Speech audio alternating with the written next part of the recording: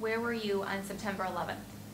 I was sitting at home. I was actually on the computer uh, preparing for a show later in the day, and uh, one of my friends on uh, AOL IM sent me an IM saying a plane just crashed into the World Trade Center. And he's one of those guys that, um, to put it mildly, he's a jokester. So I didn't take it very seriously until I turned on the television, and, and much to my horror, it wasn't a joke at all.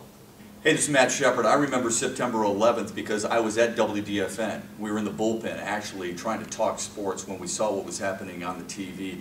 And it was one of the few times where talk show hosts had nothing to say. All we could do was react and then a collective cry, quite honestly. It was interesting. Recently, we had a discussion on the air about tattoos and whether they are passe or are still in today. And a 47 year old man emailed me and said, I recently got a tattoo and it's of an eagle crying behind the flag of the United States of America, remembering September 11th. That's how a lot of us, I'm sure, remember that day. And how will I remember it? Just by raising our flag proudly each and every day, like I do, in a tribute to our troops. I will never forget the date, September 11th. It will be remembered for always. What will you do this September 11th? What will you do this September 11th? To get involved, go to 911day.org.